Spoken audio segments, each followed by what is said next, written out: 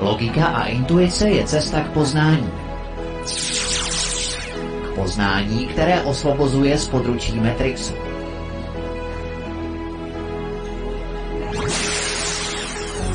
V pořadu s Miroslavem Zelenkou. Miroslavem Zelenkou. Vše je jinak, zřejmě i budoucnost.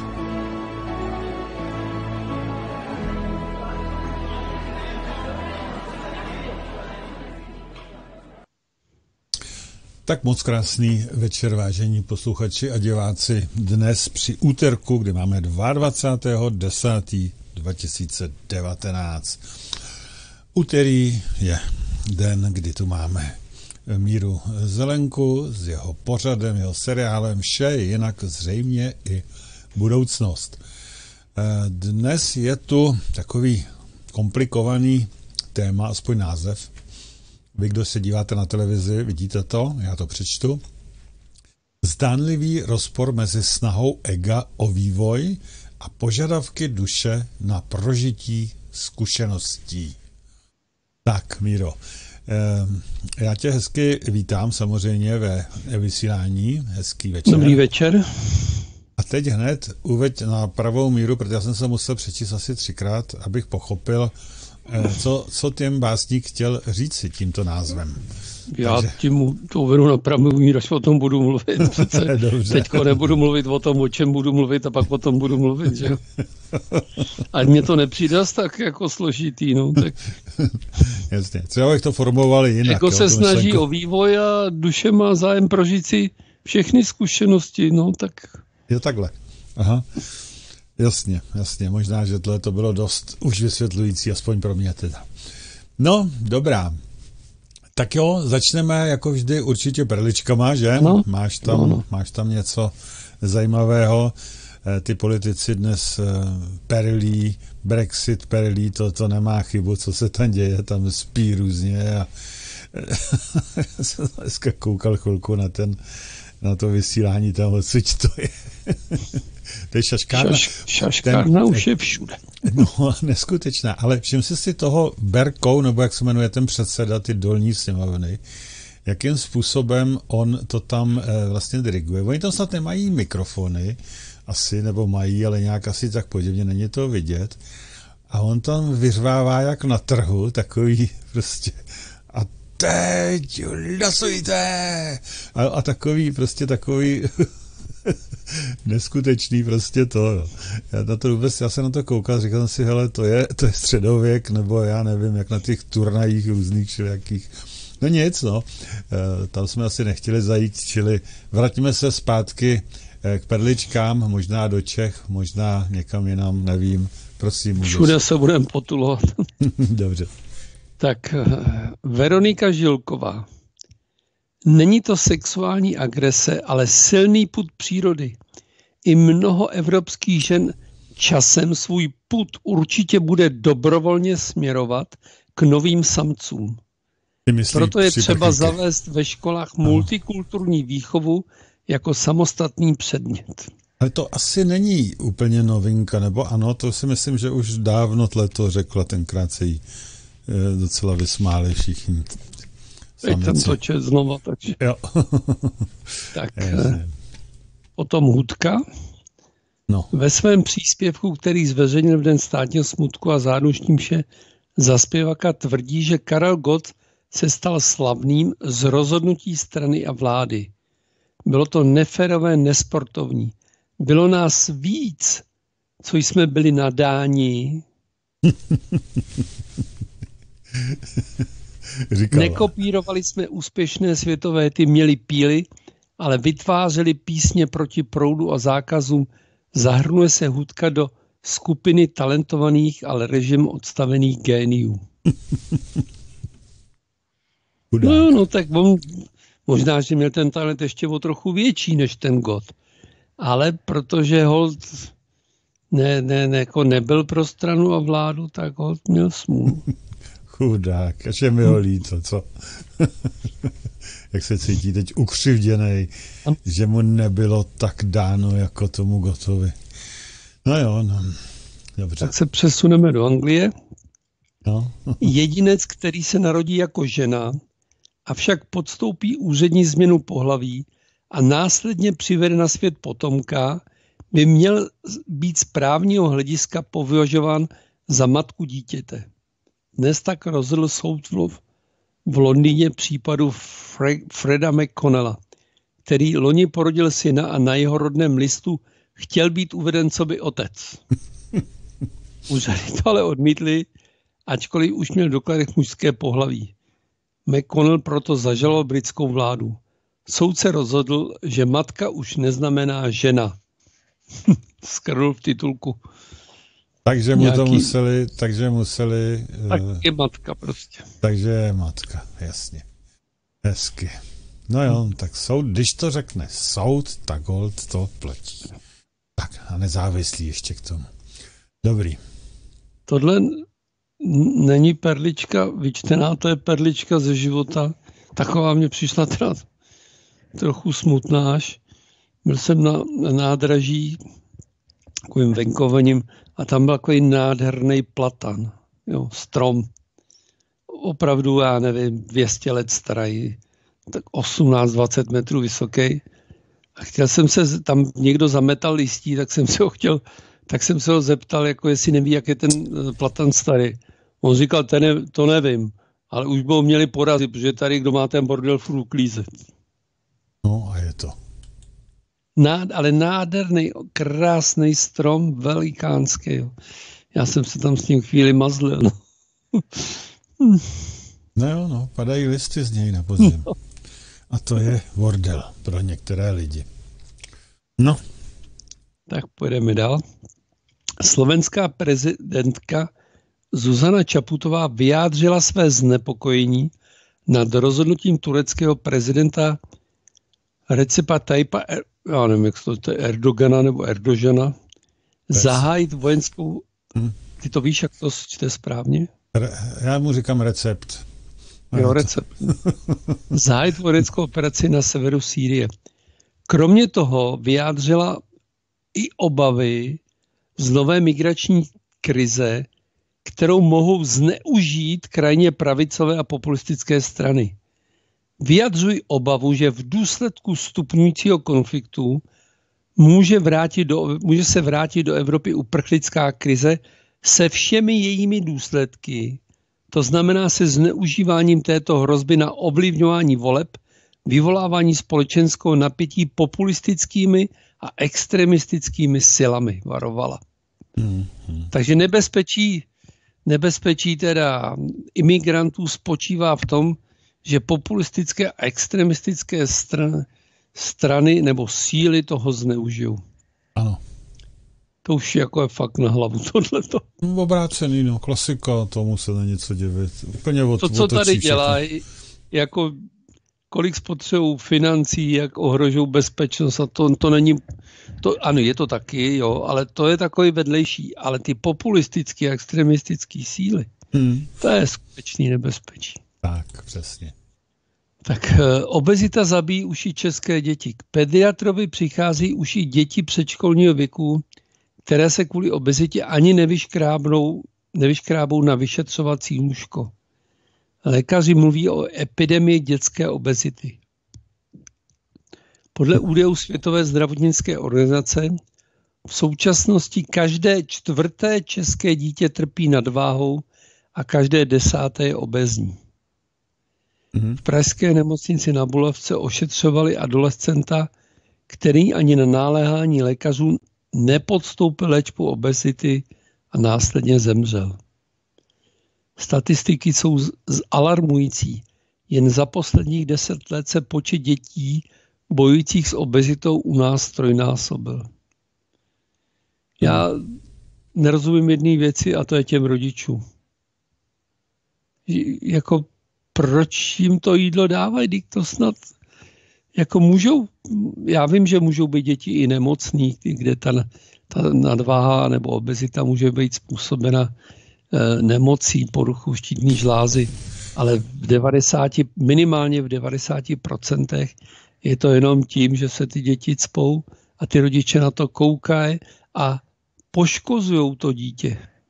Míro, jo, možná, možná, že to tak není, protože víš dobře, že ty rodiče moc nevaří a podobně, Spíš jim strčí nějakou tu korunu vždycky, že do školy a co si myslí, že se tam koupí? Někde nějaký hamburger. No to je jedno, tak ale tak, eh, tak s tím musí něco jim, dělat. A teď přece... Ale jako za to ty rodiče viděli, že... nemohou, protože když jim ty peníze nedají, tak dítě řekne, že nemá na oběd a bude za to popotahováno, že se o něj dobře nestarají a ještě jim ho sebere sociálka a podobně. To je prostě past. To je neskutečná past, která tady je. Jo, takže eh, děti jsou vyživovaný prostě hamburgrama, hotdogama, takovýhlema věcma. No a taky se to ukazuje, že vypadají stejně jako ty američani, že jo. Obrovsky obezní a, a podobně. Já neříkám, že jsem nějaký hubeňour, ale prostě hmm. jako dítě jsem byl opravdu štanglička, že jo. To...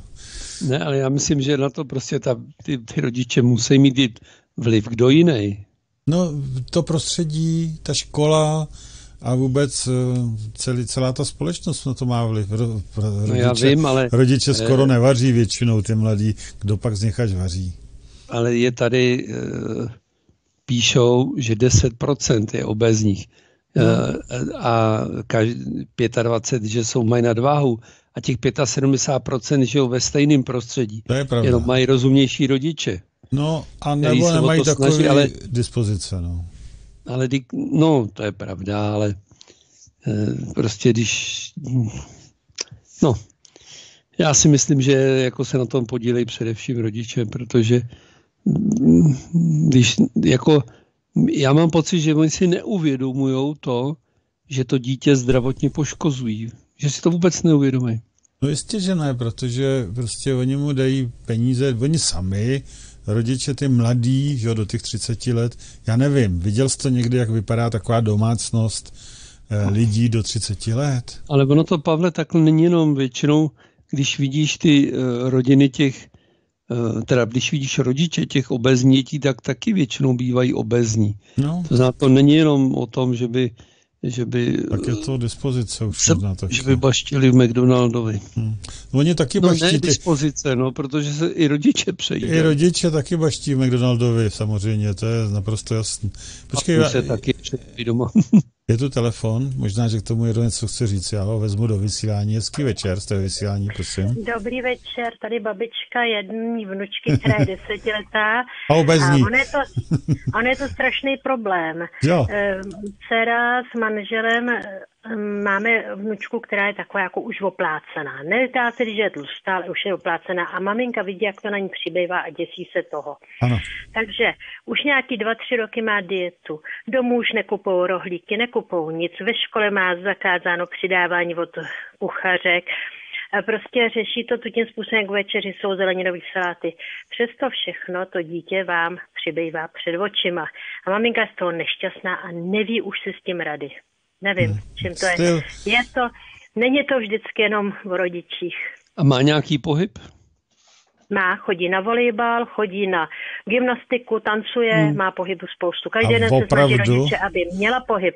Chodí s nima v neděli na výlety, ale prostě tak to bude asi na spíš výjimka, ale že to já myslím, že samozřejmě hmm. jsem říkal, že jsou ty případy, kdy se s tím, kdy je to problém, no.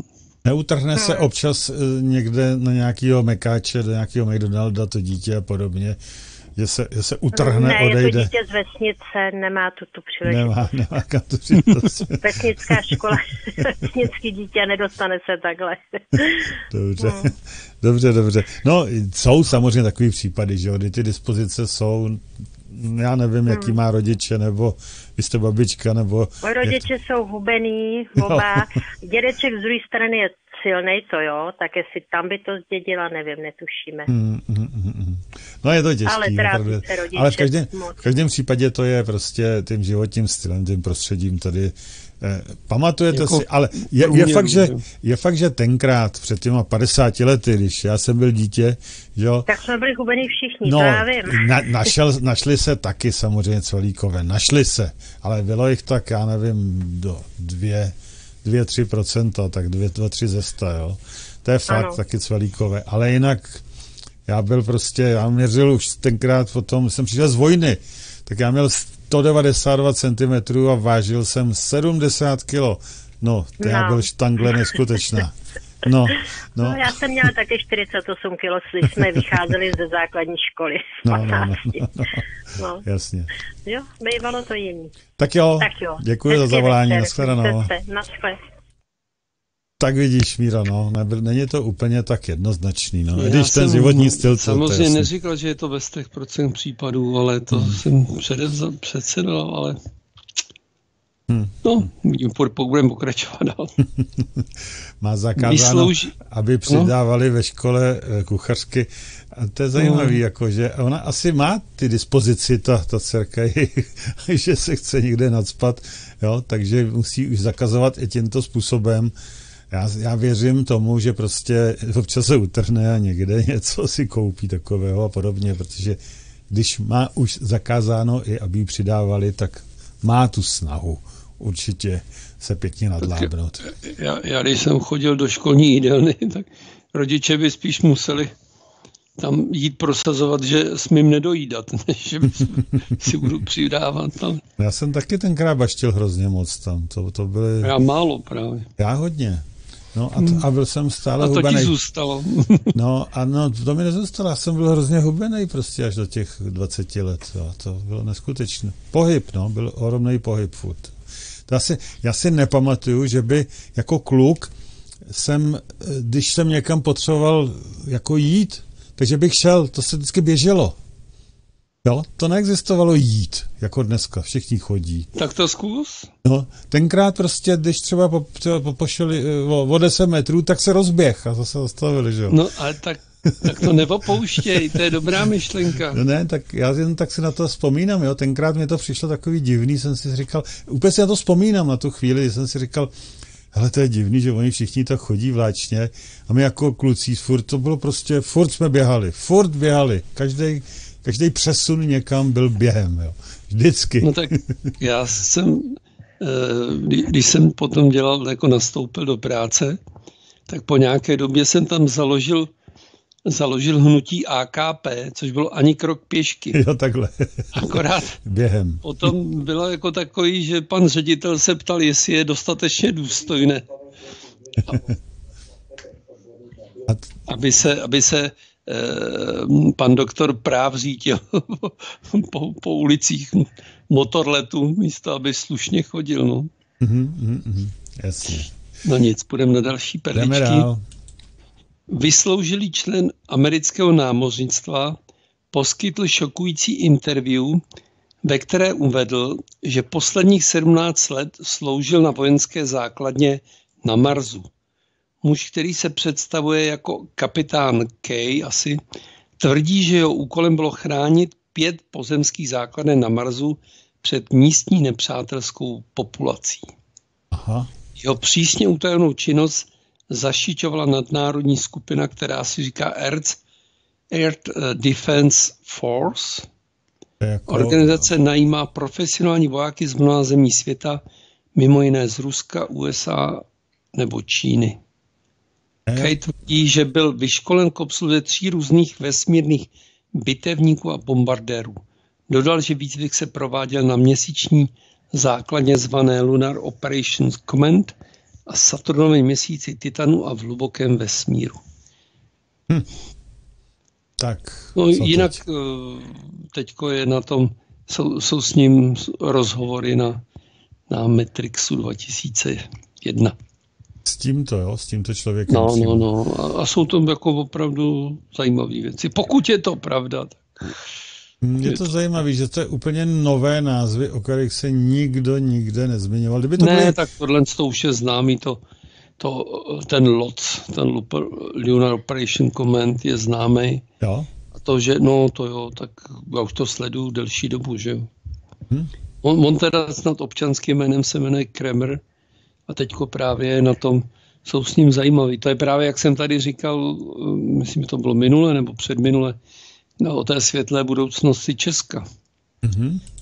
Z toho důvodu, že uh, nejlepší obchodní artikl planety Země je pivo. Ano, ano.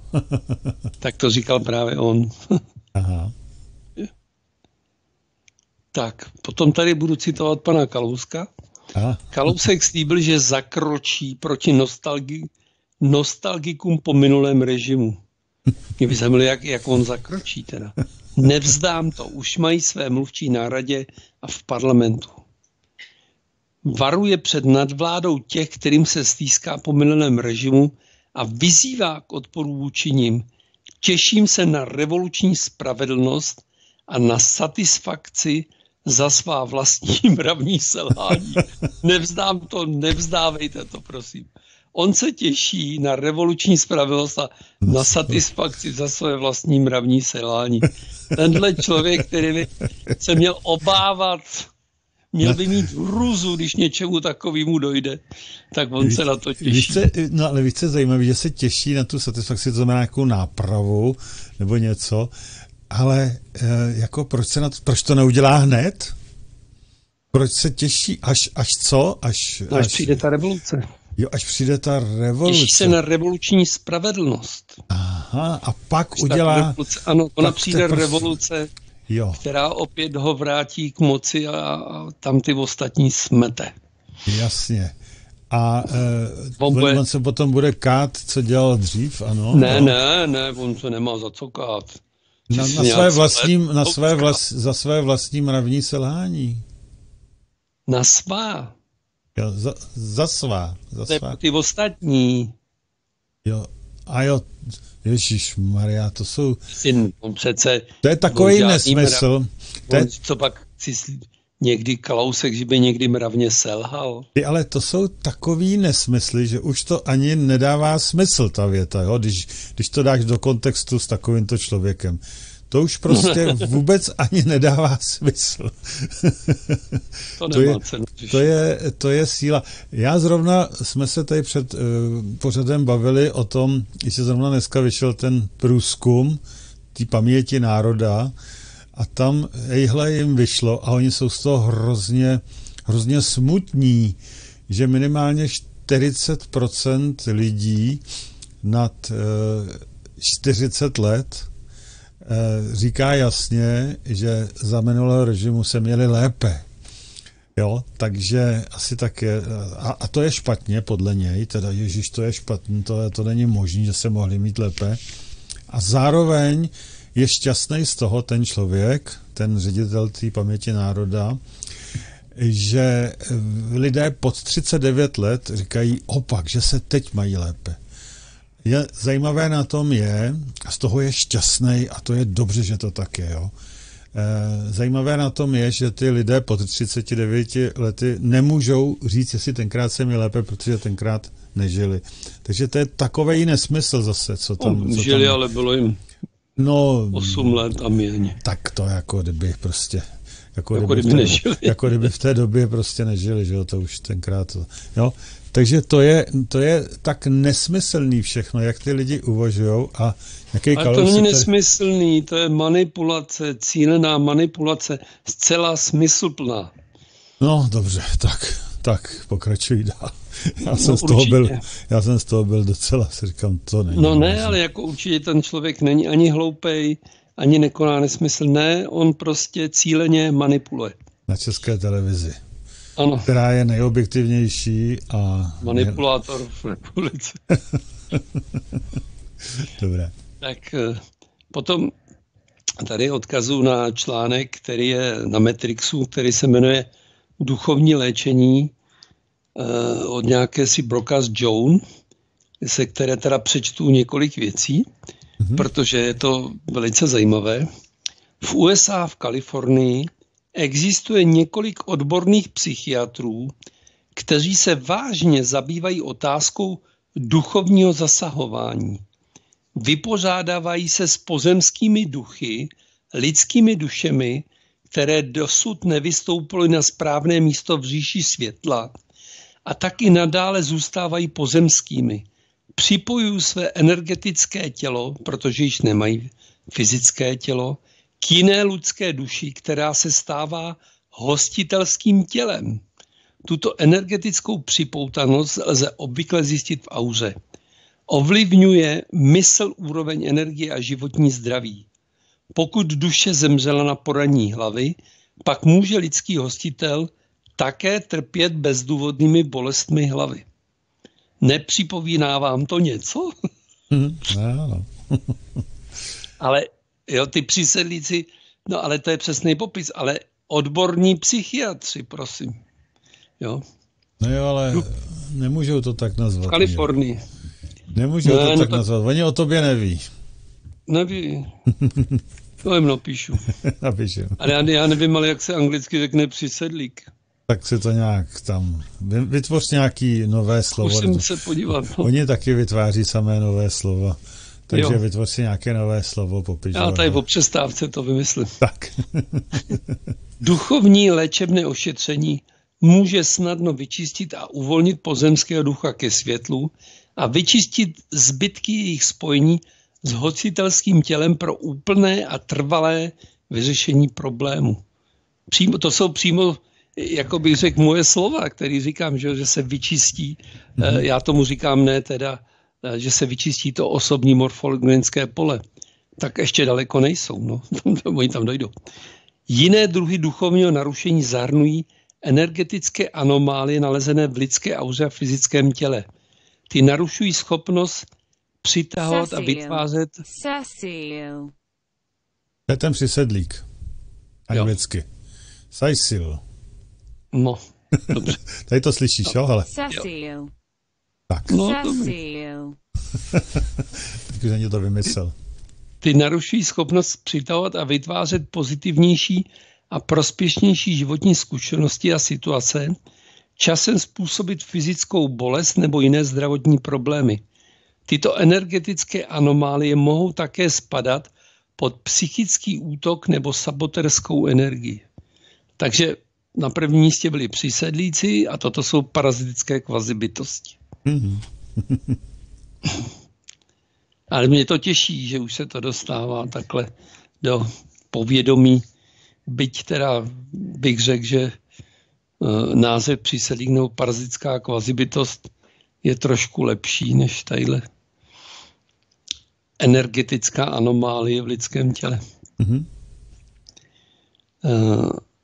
Tak potom jsem chtěl uh, upozornit na jednu věc. Já posluchači, co mě poslouchají častěji, vědí, že se nevyjadřují k jiným pořadům, kromě teda toho, když jsem bránil kolektivní meditace před útoky, ale teď mi to nedá, abych nezareagoval, protože eh, Petr Chobot měl vysílání na na cestách k sobě, kde mluvil o tom Xenonu velice dobře, ale poté eh, promluvil, že vlastně pouze ten jeho Xenon, který jeho Xenová, nebo to, co on je pod jeho jménem, tak Xenová terapie, že je ta jediná správná, že ty ostatní lidé to konají pro peníze a že mají to špatně, tak já se chci zastat, protože jsou lidi, o kterých velmi dobře vím a znám je osobně a považuji za velice čestné a jsem pevně přesvědčen, že to dělají srdcem a ne pro peníze, i když nemohou to dělat zadarmo, protože ten Xeno zazí něco stojí. Tak bych jenom chtěl upozornit, že na webových stránkách egiinstitute.cz se dají najít uh, lidi, kteří, pro, kteří dělají tuto xenovou terapii a podle mě opravdu poctivě a ze srdce. Mm-hmm. Tak. Eh, potom bych řekl, eh, příští setkání diskuzní v Praze se bude konat 6.11. opět v té restauraci Free Solo. Seminář zdravotní a životní potíže a příčiny se bude konat 17.11. v Ostravě a 1.12. v Olomouci a seminář umění žít a milovat už se bude konat tuto neděli v Ostravě Porubě. Tak bych na to chtěl upozornit. A teď tady mám uh,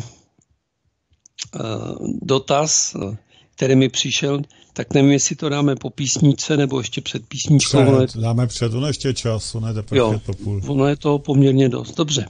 Dáme před. Tak uh, je to slovenský, tak zase. Existují nějaké odevzdání vlastností, schopností nebo zkušeností, při úmrtí někoho velmi blízkého, například při smrti otca, otce přenos na syna.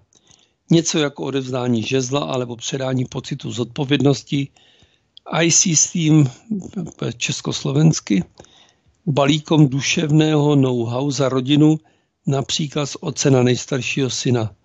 Může se duše takto obdarovanou zkušeností či zodpovědností i bez toho, aby si to syn musel prožít, jako by to syn dostal jako dar od otce, zrazu pochopil předtím vůbec neuvědomoval, vidí situaci už jinak, koná jinak. Eh, tak já si eh, osobně, já nemůžu říct nic jiného než svůj názor, eh, nemyslím si, že by existovalo něco takového, jako jakési předání balíku duševního know-how za rodinu z otce na nejstaršího syna. Ale samozřejmě může se jednat o to, že ten otec se promění v přísedlíka, protože chce zachovat nějakou nějakou kontinuitu toho rodu nebo těch zkušeností. Ale že by duše zkušenost darovala, jako otec, když by umíral, že by darovala ta duše zkušenost synovi, to si myslím, že úplně asi takhle nejde. Jiná věc je, že existuje něco jako morfogenetické pole rodu, kam ten otec eh, formou těch svých návyků tyto zkušenosti předával a toto morfogenické pole rodu může působit na toho syna. Mm-hmm.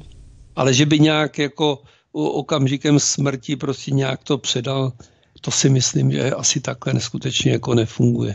Mm. Samozřejmě jsou, předával know-how během života a podobně to, ale není tím myšleno. Takže si myslím, že jsou tady dvě věci, které to mohou ovlivnit. To je za prvé, že teda ten otec se promění v toho přisedlíka a tím pádem jako e, to vlastně přebírá vládu nad tělem a vykonává to možná pouze po určitou dobu, dokud to nepřejde do toho osobního morfogenického pole syna, celé to nauho a potom třeba odejde, anebo tím způsobem, že je to v tom osobním, že je to v tom morfogenickém poli rodu. Mm-hmm. Uh ovlivňují nějak naši zemřelí blízký náš život eh, po dobu jejich pobytu v bardu. Například můžou chodit do snu či se přidat k našim ochranným andělům a upozornit nás dopředu na nebezpečné situace a podobně. Dopočul jsem se o případu, kde zemřela babko takto jako duch ochraňovala svoji vnučku. V případě se můj otec už znova inkarnal do nového života – přerušuje to naše duševní spojení a už mi nebude zhora pomáhat. No, to je ta otázka. Já se teď jsem se mm, jako na tvůj popud do určité míry těmhle věcem začal věnovat. A tam se tvrdí o tom, že oni v tom bardu, v, tom, v té astrální realitě, v tom období mezi životy, že jsou schopni uh, sledovat, co se tady děje na Zemi a jsou schopni se na nás nějakým způsobem napojit. Ale zase už se asi pravděpodobně musí jednat o nějaké vyšší duše. Pokud eh, ta duše není schopna telepatie v tomto životě, nemá určité schopnosti, tak je to pro ní velice těžké. Ale za určitých podmínek si myslím, že to jde. A těch případů, kdy se zjevil někdo z eh, blízkých, který už zemřel a varoval nebo upozornil na něco, těch je zdokladováno skutečně hodně. Takže nepochybuji o tom, že to jde. Otázka je, jestli když už se ten otec znova inkarnoval, jestli se to přerušuje, nebo jestli nebude zhora pomáhat. A už nebude teda zhora pomáhat to, v těch materiálech, které teď jsem do určité míry trochu nějak začal studovat, se píše o tom, že ta duše, když se někde inkarnuje, že tam část své energie ponechává, takže podle této varianty by to mělo jít. Ale já s touto, s touto informací úplně nerezonuju, že by tam duše ponechávala část energie, takže by, že by jako ten, ta duše byla tady znova inkarnovaná, ale částečně by tam zůstala a mohla pomáhat. Ale samozřejmě neřeknu, že to není možné. Mm-hmm. Končí naše rodinné vazby inkarnací nebo jistým způsobem zůstáváme na úrovni duší stále propojení s našimi předky, partnery, blízkými dušemi eh, přes mnoho inkarnací. Proč se, proč se vzpomíná vliv na nás právě od sedm generací předků? Odpovím na poslední otázku, proč se vzpomínal jsem generací předků, tak na tuto otázku nevím odpověď, neznám teda. Eh, dokonce ani nevím o tom, že by se to takhle dělo, že by takhle to byla takováhle teorie. Ale eh, nepochybně, nepochybně se naše rodinné vazby eh, jakou inkarnací nekončí a zůstáváme na úrovni doše stále propojený. Jsou dokonce určité skupiny duší, které se neustále tak nějak potkávají v průběhu těch životů a obměňují si role. Takže to bych řekl, že je zcela běžná věc.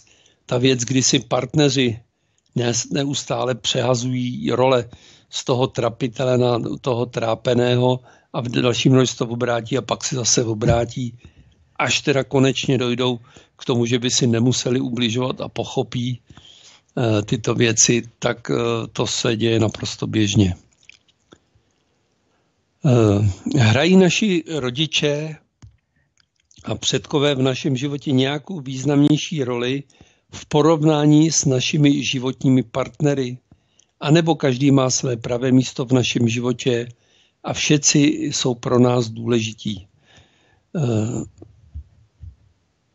Já, samozřejmě, že eh, pro nás jsou všichni důležití, ale ne všichni stejně.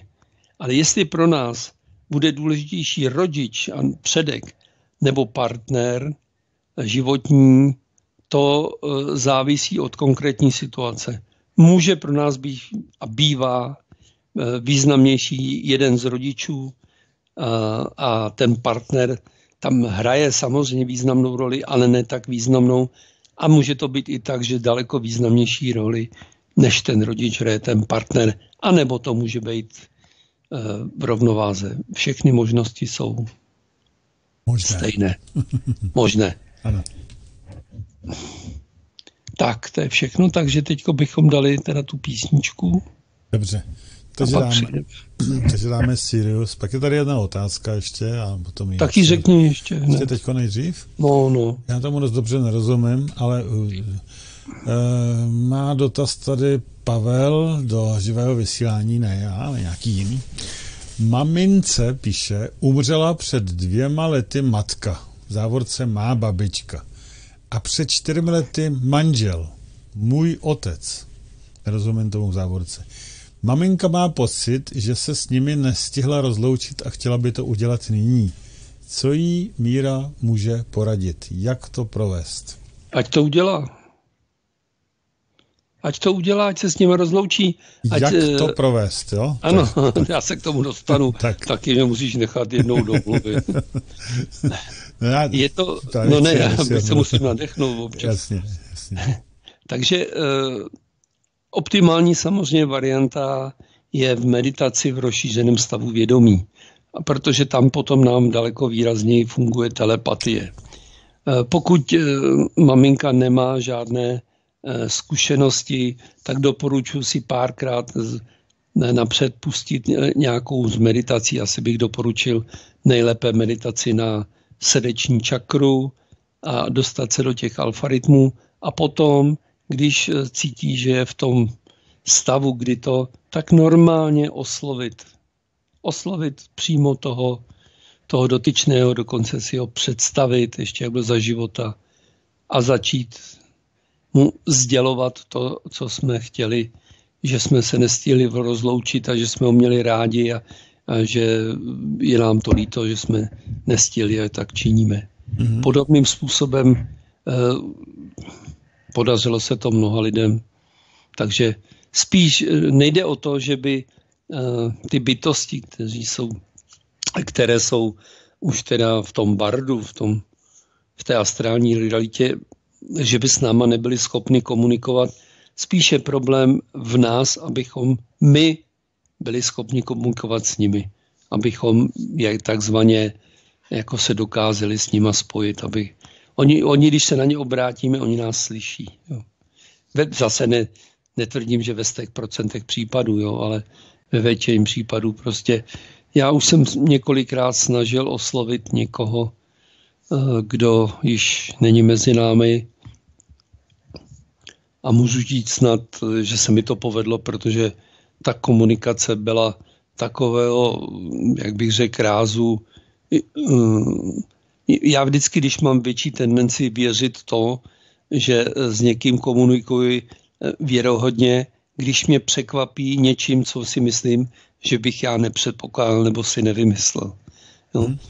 A když prostě dostávám některé ty informace. Takže eh, nepochybuji o tom, že to jde a samozřejmě těch lidí, kterým se to podařilo, je opravdu mnoho a mnoho. Mm-hmm. Takže to je všechno?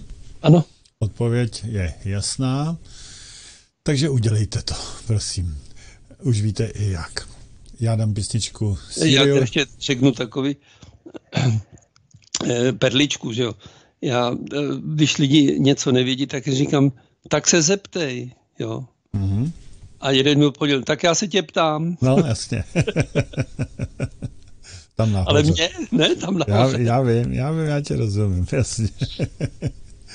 tak, dobře, jedeme Sirius od Miroslava Zelenky. I kdo nevíte, kdo to je, tak je to přesně tento náš dnešní host. Uh, Sirius se jmenuje písnička.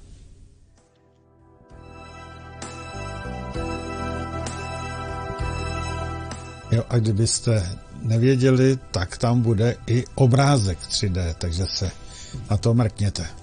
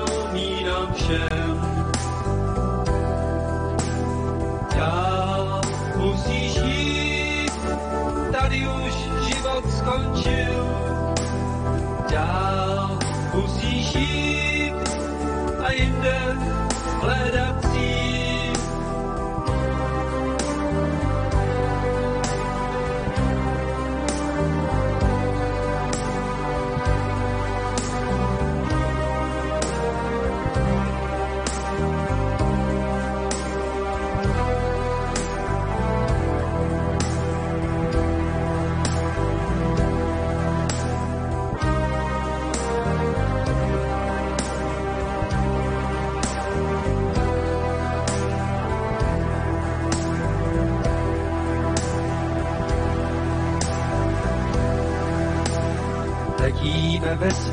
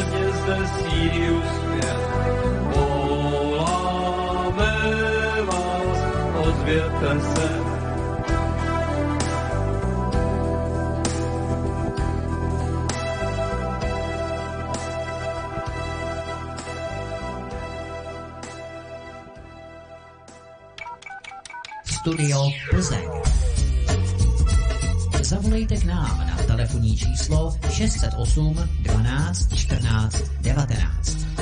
Nebo nám zavolejte na Skype svcs pomlčka vysílání.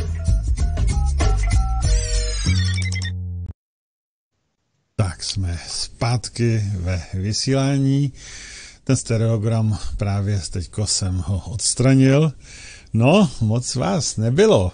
Jo, to bylo opravdu velmi, velmi těžké, ale paní Jana, ta nesklamala, ta to vypálila okamžitě velmi rychle. Já už jsem měl obavy, že to e, vlastně ne, neuhodne nebo nepřečte nikdo, protože fakt, fakt těžké. Ale dám vám samozřejmě ještě čas, abyste mohli se na to e, kouknout a případně v tom nějaké v tom Uh, jestli to stáhnete, abyste to tam mohli taky hledat, abyste to už nevěděli. Takže Míro... Ale ono, Pavle, taky musíš předpokládat, že třeba jsou lidi, kteří nepouští své třetí oko, ale normálně se na tebe telepaticky napojí. No. A hned vědí, co tam napsal. no, já to kolikrát nevím ani sám, abych pravdu řekl. Já to tam šoupnu a pak sám koukám na to, co tam vlastně je, protože já to tady nemám nějak popsaný. Jo, takže já to nevím z kraje ani. Já to dneska něco hodím a já to ani nevím. Jo. A dnes, dneska jsem s tím měl docela problémy to opravdu, co tam je, přečíst. No.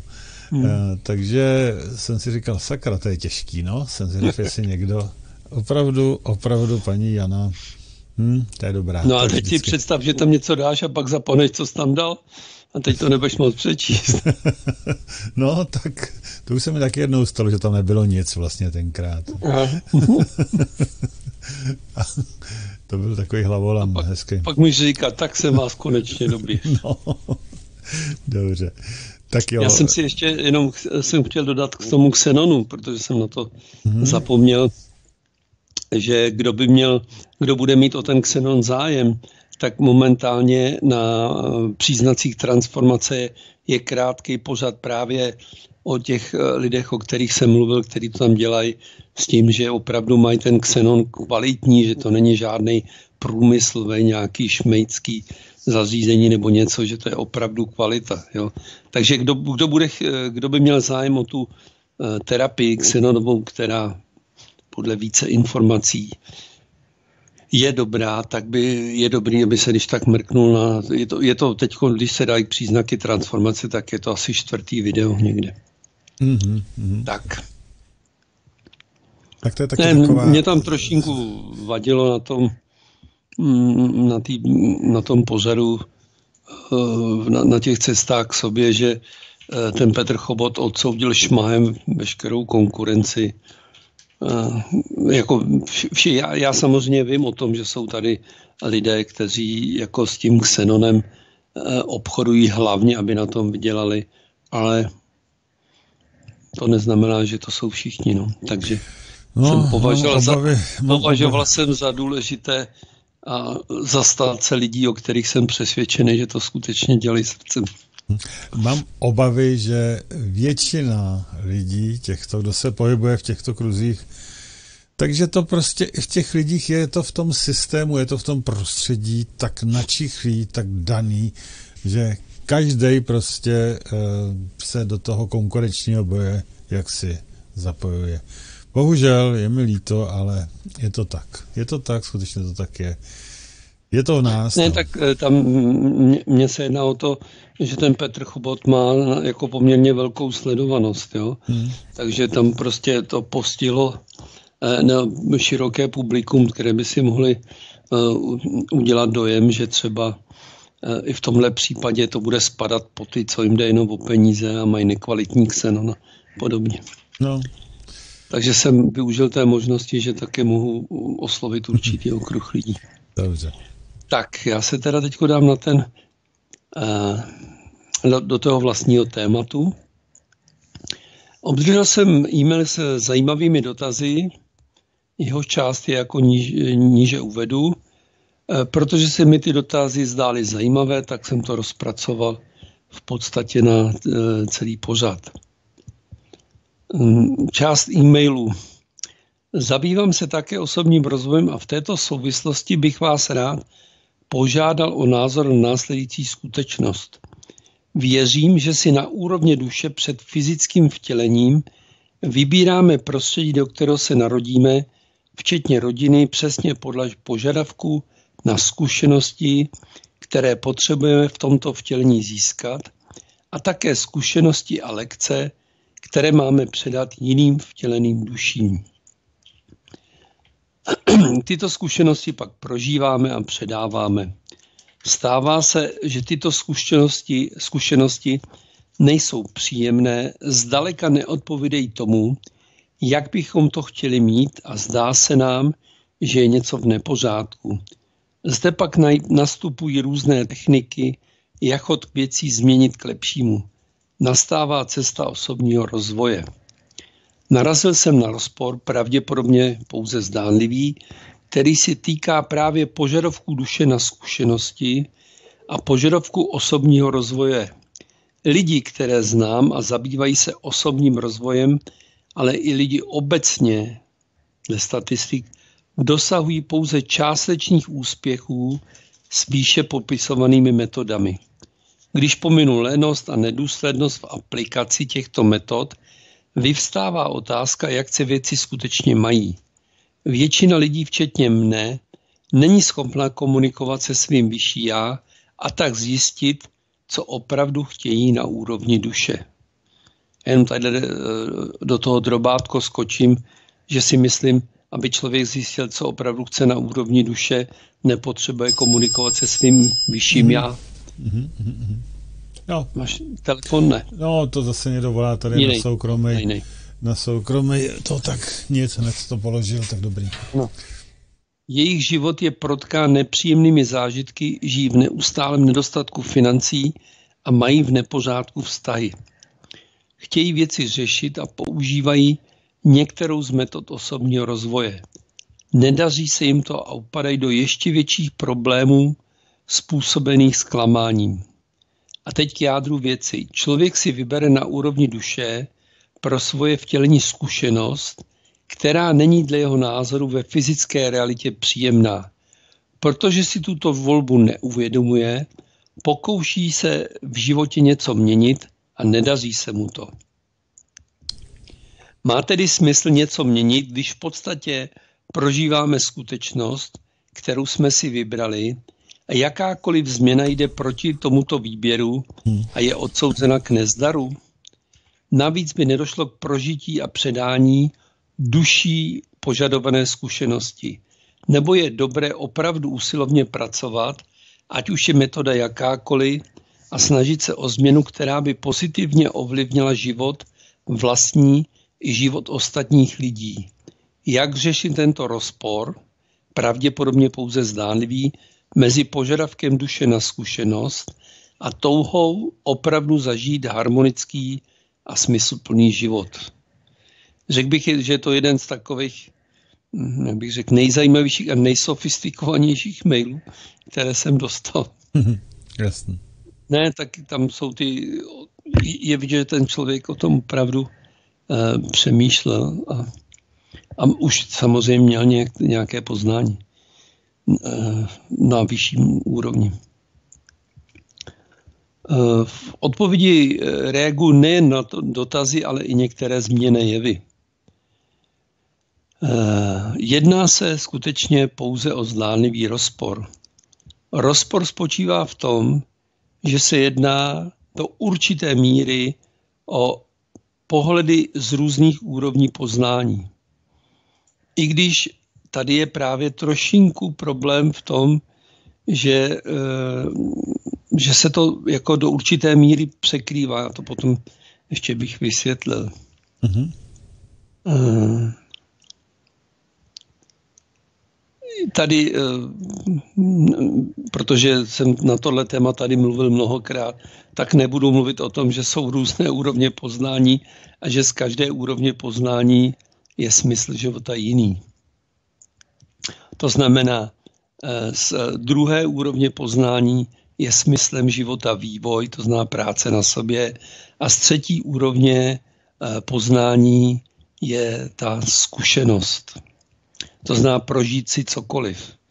Jenomže tam je právě problém v tom, že když si vybíráme z pohledu teda té třetí úrovně poznání tu zkušenost, tak si nevybíráme jednu konkrétní inkarnaci, ale vybíráme si, řekl bych, celou sadu, no, celou skupinu inkarnací třeba na planetě Zemi, které hmm. obsahují více druhů zkušeností a nejenom teda negativní, ale i pozitivní.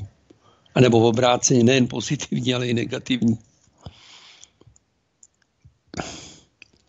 Co, co se týče uváděných technik eh, osobního rozvoje, tak z mého úhlu pohledu je dělím na dvě základní formy, které se však zřejmě ve většině eh, kurzů pro těch osobního rozvoje prolínají.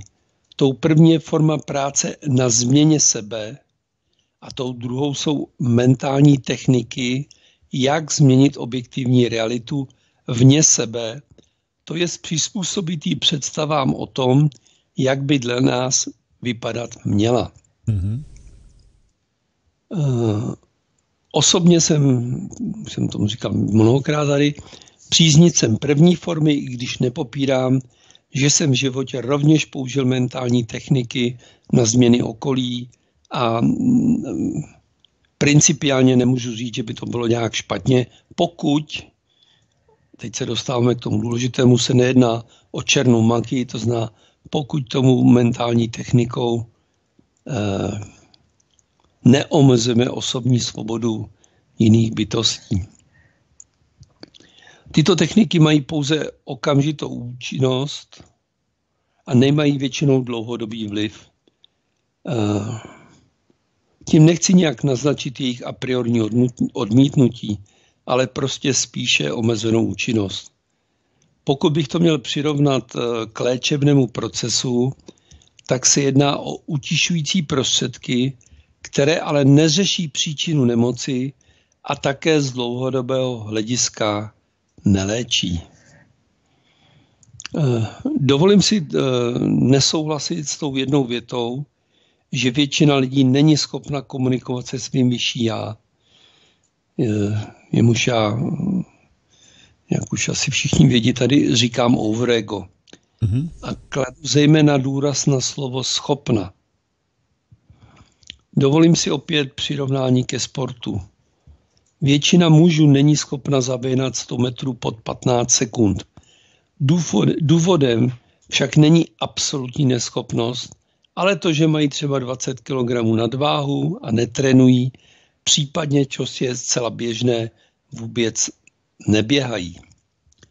Já jsem rovněž získání této schopny, schopnosti eh, pro úplnost, teda jak komunikovat s overgem, tak schopnost běhat rychle. I když teda nevím, jestli bych tu stovku ještě dal pod 15 vteřin. No. tak jsem tomu věnoval poměrně dost času.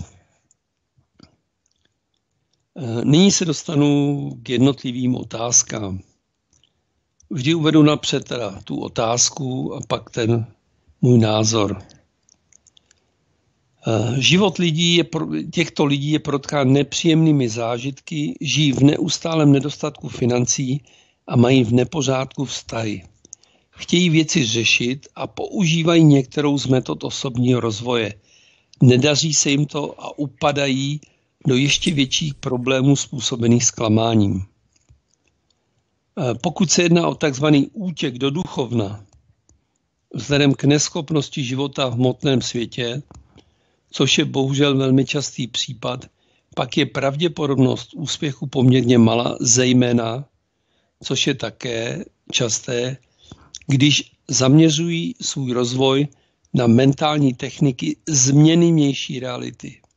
Mm-hmm. Málo kdo se opravdu důkladně zabývá analýzou příčin vlastního neúspěšného života a skutečných odborníků nabízejících kvalifikovanou pomoc je podstatně méně, méně než těch, kteří nabízejí za výhodnou cenu a rychlokůzdy štěstí, zdraví a bohatství.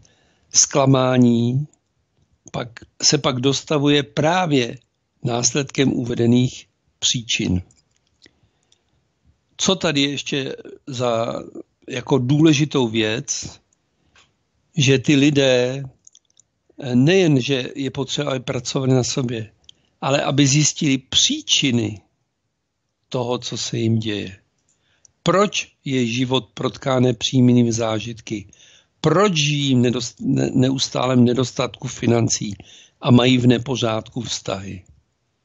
Ale to je bohužel velmi často eh, zastřeno tím závojem času, protože eh, ty příčiny jsou přesně v těch minulých životech protože v těch minulých životech podobné principy nepříjemných zážitků, nedostatku financí a nepořádku ve vztazích umožnili někomu prožít a proto si je prožívají v tomto životě. A kromě toho, právě v tom meziživotí, v tom bardu, se sami rozhodli, aby si ty nepříjemné zážitky pro, prožili. To znamená, Oni si vybrali tuto zkušenost, aby pochopili, do určité míry se takhle dalo formulovat, ale řekl bych opatrně k tomuto výrazu, aby pochopili nesprávnost svého konání v minulých životech. A v okamžiku, když pochopí ty příčiny, tak na základě pochopení těch příčin mohou změnit svoje chování a jednání v tomto životě, změnit svoje osobní morfogenetické pole a mohou se dostat k tomu, že eh, pochopí, proč eh, se jim tyto věci dějí a usilovnou prací na odstraní těchto nedostatků, které jsou způsobeny už v tom minulém životě, se mohou dostat k tomu, že odstraní i nedostatky v tomto životě. Mm. A to je jako ta důležitá věc, proč eh, já jsem uvedl napřed, eh, protože to tam, že si ta duše eh, eh, vybírá, nebo z té třetí úrovně, že se duše snaží si prožít všechny zkušenosti, je něco jiného, protože to je, jak jsem řekl, já vím, ono si některé věci hůře vysvětluju, protože to se jako obtížněji chápe, ale že si většinou vybírají skupinovou inkarnaci. Jo. Tam si vybírá duše zažít si všechny životy, třeba všechny i nepříjemné inkarnace na planetě. Ale druhá věc je, že si duše v tom bardu vybírá zkušenosti příštího života, které, si, které se chystá prožít. Vybírá si k tomu dokonce partnery, které jim umožní prožít tu dobré, ty horší zkušenosti. Mm-hmm.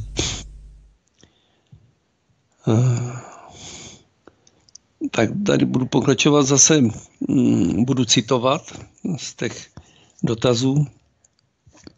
Člověk si vybere na úrovni duše pro svoje vtělení zkušenost, která není dle jeho názoru ve fyzické realitě příjemná.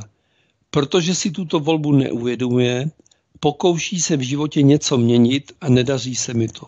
Nedaří se mu to. Eh, myslím si, že je do určité míry otázkou, co si duše přesně vybírá.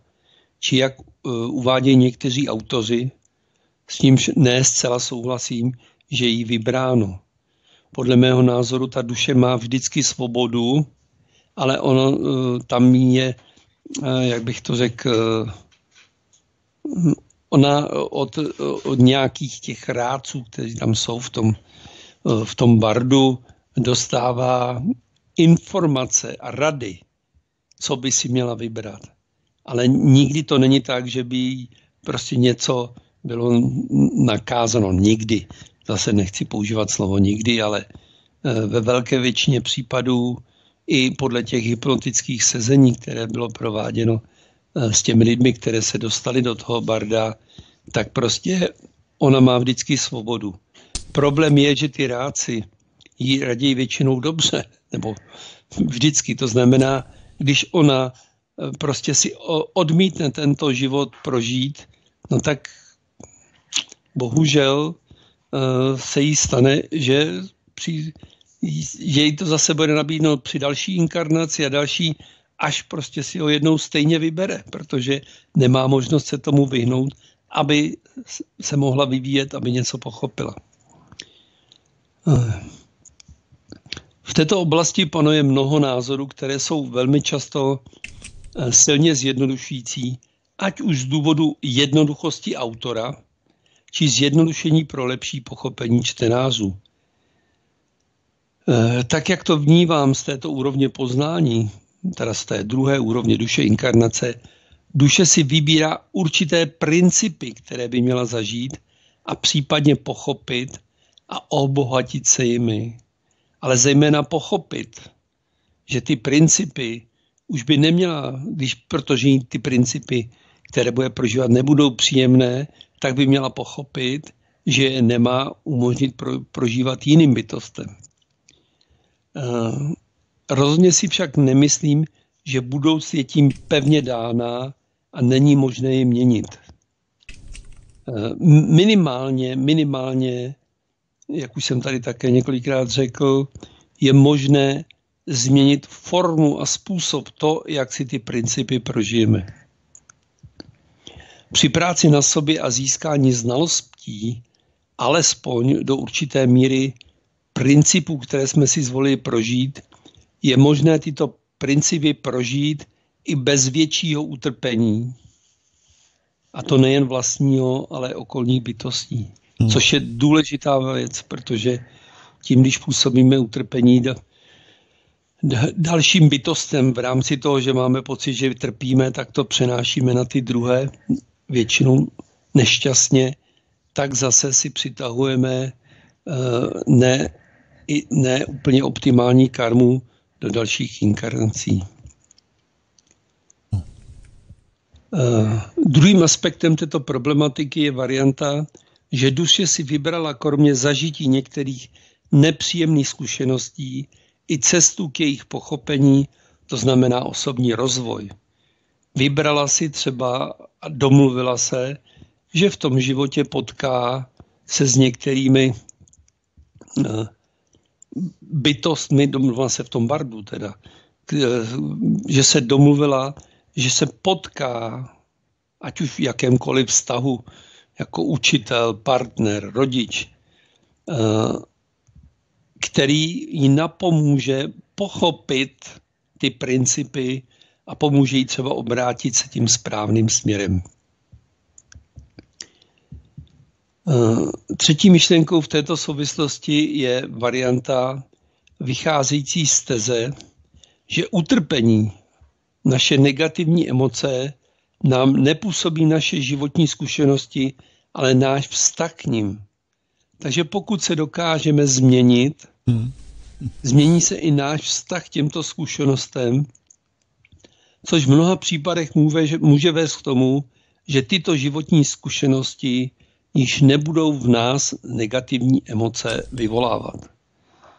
Já uvedu takový možná ne úplně nejvhodnější případ, ale jako muž, nemluvím o sobě, aby to špatně někdo nevysvětlil, jako muž jsem v, minulé, v minulém životě opustil několik žen. Jo? Ne třeba úplně vybíravým způsobem. V tomto životě jsem opouštěn. Když dostanu tu informaci, co jsem prováděl v minulých životech, dokážu pochopit, proč jsem opouštěn a jsem eh, schopen to emočně daleko lépe vzládat. Jo? Je, je, když bych to přirovnal k tomu, když je e, dítě trestáno a neví proč, tak to snáší samozřejmě daleko hůře, než když si je velmi dobře vědomo svého provinění. To znamená, že uznává, že to provinění se skutečně stalo. Ne, že je to skutek, který vidí jako provinění pouze rodič, ale je to dítě. Mm-hmm. Tak mhm. samozřejmě následný trest přijímá úplně jinak, než eh, když eh, má pocit, že to je nespravedlivé a že vůbec neví, za co a proč je trestáno. Eh, tím ovšem nechci samozřejmě navodit, navodit nějakou, nějakou myšlenku, že to, co se nám děje, je trestem. Jo, to bych nerad. Jenom je to podobenství na tom, že daleko lépe snášíme, když ne vždy teda, ale daleko lépe snášíme Eh, to, že je nám nějakým způsobem ublíženo, když si uvědomíme plně, že jsme stejným způsobem někomu ubližovali.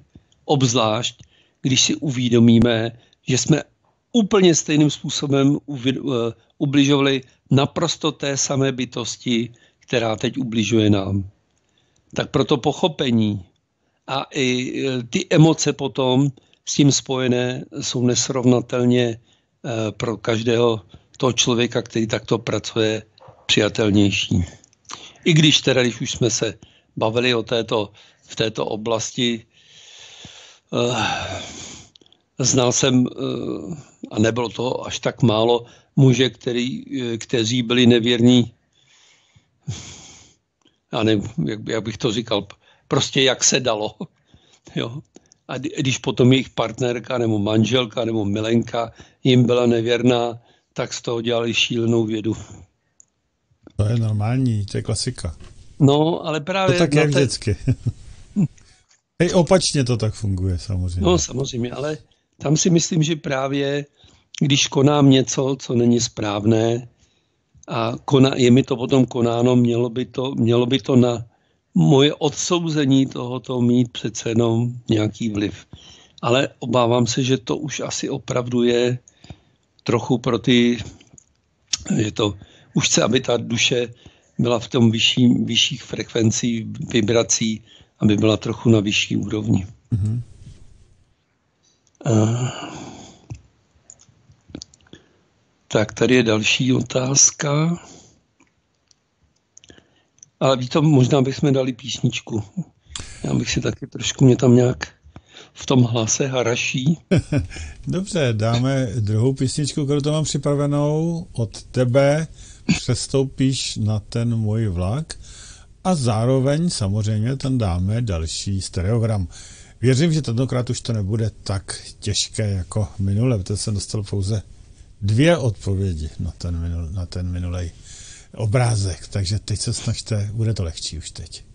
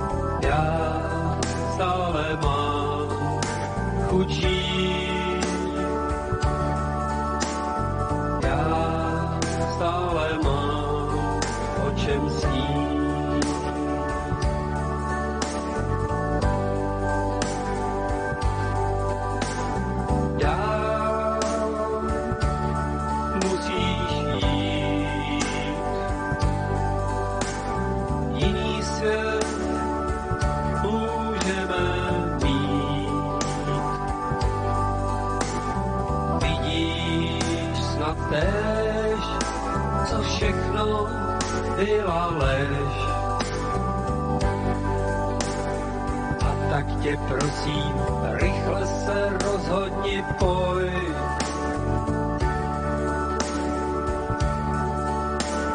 Proto se modlím teď, ať je to tak, ty rychle přestoupíš na ten můj vlak, co s námi zamíří na kolej jinou, než zvolí ti, co jen s proudem plynou. Já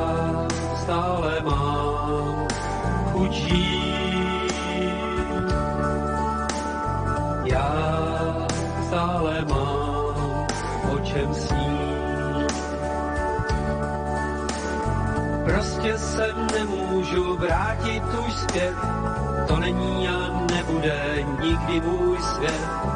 Není to budoucnost, co bych si přál, nejsou tam role, co rád bych hrál.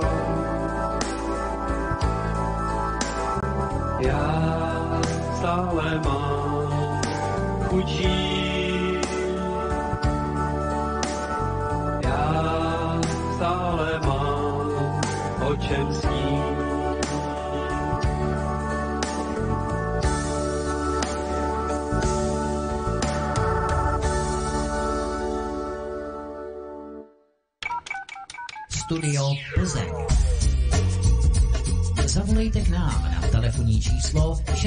608 12 14 19. Nebo nám zavolejte na Skype svcs pomlčka vysílání. Tak, uh, obrázek, který tam byl, ano, tentokrát už bylo asi pět nebo šest lidí, kteří na to odpověděli. Opět Jana jako první, okamžitě prakticky to má zrak jako rys. To je paráda. Takže eh, děkuju za to. Já si myslím, že to je takový zajímavý zpestření těchto pořadů, že se na to soustředíte, že se zároveň odreagujete, zároveň soustředíte na něco jiného. No, je to takové, takové pěkné. No a my budeme pokračovat eh, dále v tématu dnešním. Zdádlivý rozpor mezi snahou ega a vývoj a požadavky duše. Ne a vývoj, o vývoj. Pardon, no, tak proto mi to, proto mi to nesedí. O vývoj a požadavky duše na prožití zkušenosti. Vlastně je to nějak pořád e, takto sformulovaný, mi to nesedí. Ale dobře, e, možná je to ještě blbě, no, to je ono. E, tak, to je všechno, Míro. Já jsem jenom chtěl říci, že dneska, jak vidíte, do toho prakticky nestupuju, i když bych kolikrát velice rád, protože to je téma, který mě také velmi a velmi zajímá, ale dostal jsem zase minule tak trochu od někoho vynadáno, že do toho moc kecám a že chtí slyšet Míru. Tak Míro, máš samozřejmě prostor, ale zase na druhou stranu je třeba, teda když do toho nekecám já, tak abyste vy se ptali a volali, protože Míra taky s tím počítá, občas s těma otázkama a tím pádem nemá připraveno A ono by to ani nemělo smysl to mít připraveno na celý dvě hodiny povídání. Ano, takže je třeba, abyste nahradili vy mě. Telefon jste slyšeli, tak prosím, volejte s vašimi otázkama, nebo mi pište tady na eh, mail nebo Skype. Tak, Míro, prosím, můžeš. Pavle, já pro tebe mám návrh. Uděláme jeden pořad, kde já budu moderátor a budeš mluvit ty. já takových pořadů mám dost, kde mluvím. ne, ale já tam budu moderátor. Já vím, ale no, nevím, jak by to dopadlo, no, asi, asi blbě, no, protože já zase takový přehled jako ty nemám samozřejmě. Tak by jsi vybral téma. No, no tak no nic, já, já budu pokračovat. Neumím, neumím mluvit o tématu nikdy. já vždycky se melu všechno dohromady. Tak prosím. Eh, zase pokračuji napřed teda tím dotazem. Eh, lidi, které znám a zabývají se osobním rozvojem, ale i lidi obecně dle statistik, dosahují pouze částečných úspěchů s výše popisovanými metody, metodami. Když pominu lenost a nedůslednost v aplikaci těchto metod, vyvstává otázka, jak se věci skutečně mají. Úspěšnost těchto metod nemusí být zdaleka jen otázkou lenosti či nedůslednosti, ale velký vliv mývá i účinnost či neúčinnost některých metod obecně a v neposlední řadě vhodnosti konkrétní metody pro konkrétního člověka. Já, když jen tak jako uh, se, s, protože jsem tady měl už ty pořady o těch přísedlících uh, několikrát, jestliže uh, dotyčný má přísedlíka a bude mu dělat meditaci, což je metoda, na čištění nehmotných parazitů, tak to nepomůže. Pokud bude mít, eh, pokud bude mít eh, parazitskou kvazibytost a bude mu odvádět přísedlíka a budeme se bavit s parazitskou kvazibytostí, což je program, tak to také nebude mít účinek. To mhm. znamená, je vždycky nutné, úplně, úplně základem všeho není jenom výběr vhodné metody, ale je diagnóza, hmm, stanovení diagnózy. Hmm, hmm. To je alfa omega. Jo. Zjistit příčinu a pak teprve stanovit metodu. Jo. Protože nemusí to být ani přísedlík, ani parazit a může to být uh, karmická záležitost. No a potom ani paraziti, ani, ani přísedlíci nepomohou. Jo. Já hmm. to uvádím o věcech, které jsem mluvil, těch samozřejmě těch věcí více.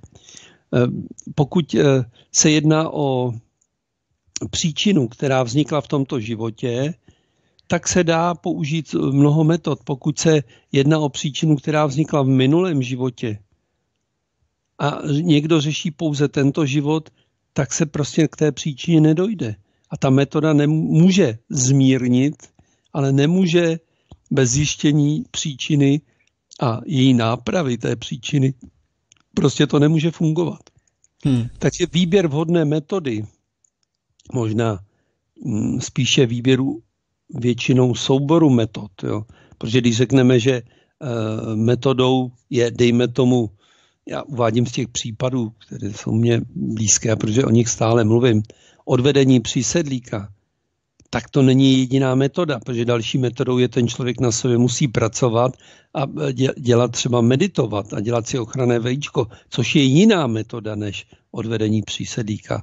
Proto mluvím o tom, že se jedná o výběr spíše většinou, eh, že se jedná spíše o souboru metod pro konkrétní bytost a nejen pro konkrétní bytost, ale i pro konkrétní životní či zdravotní příčinu nebo obtíž, není téměř nikdy jednoduchý a ve většině případů po odstranění zjevných momentálních disharmonií vyplavou nové, které byly dosud skryté, latentní a u kterých je možné, že budou potřebovat metody jiné.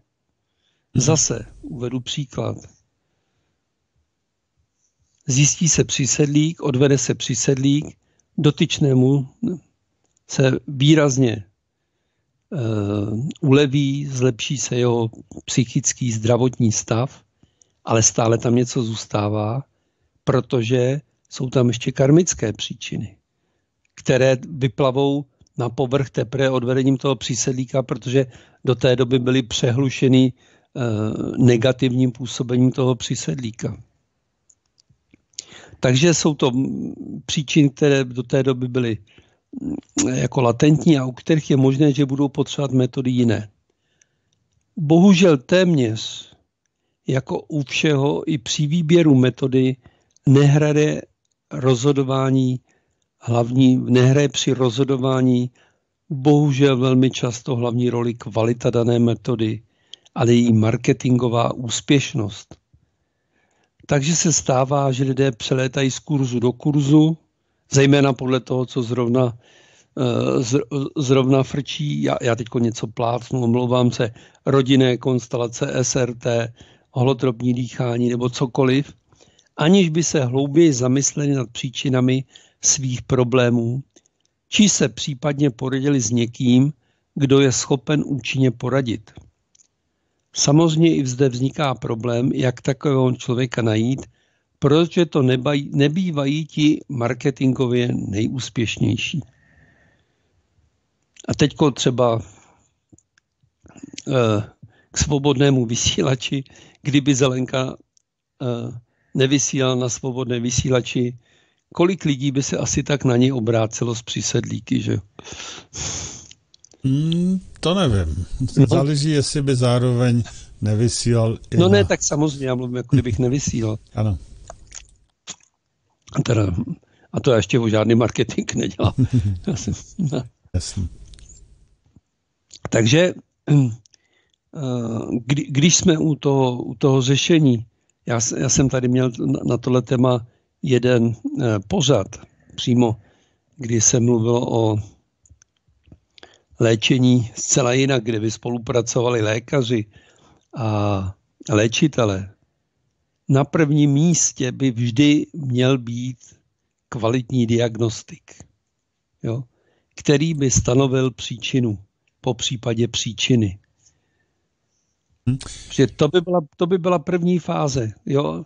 Prostě člověk, který je skutečně jasnovidný, senzibilní a řekne, je tam příselík, parazit, eh, je to karmický, ne, jsou to čistě zdravotní problémy v této oblasti a tak. Ale to bohužel, eh, já se obávám, že problém je v tom, že taková, takové, takoví lidé tu prostě nejsou z jednoho prostého důvodu, a teď budu klidně mluvit o sobě, eh, pro, eh, protože vlastně jsou nějakým způsobem specializováni. Jo. Hmm. Já taky neříkám, že jsem léčitel, ani diagnostik, ale když se na mě někdo obrátí, já jsem schopen říct, jestli mám příselíka nebo parazita. Jo. Ale je, jestli bych pojmenoval latinskými názvy nějaké, eh, nějaké nemoci a doporučoval na to léky nebo nějaké postupy, tak prostě o tom nevím vůbec nic. Mm-hmm. Jo. Míro, máme telefon. To je, no, no, jasně, tak to směl říct. Aha. Jo, dobře. Takže hezký večer, jste vysílání. Eh, dobrý večer, tady Marcela ze Znojma. Zdravím tě, Pavle, i Míru. Aha, taky zdravím. A mám takový kuriozní dotaz. Hmm, mám kamaráda tady ve Znojmě, muže, který je to kamarád, má rodinu, čtyři děti a tento muž je abnormálně šikovný. Abnormálně. Vynalézavý. Co vymyslí, to vyrobí a udělá. A já mu říkám, když ho vždycky potkám nebo, ho navš- nebo je navštívím, já říkám, seš ty vůbec člověk?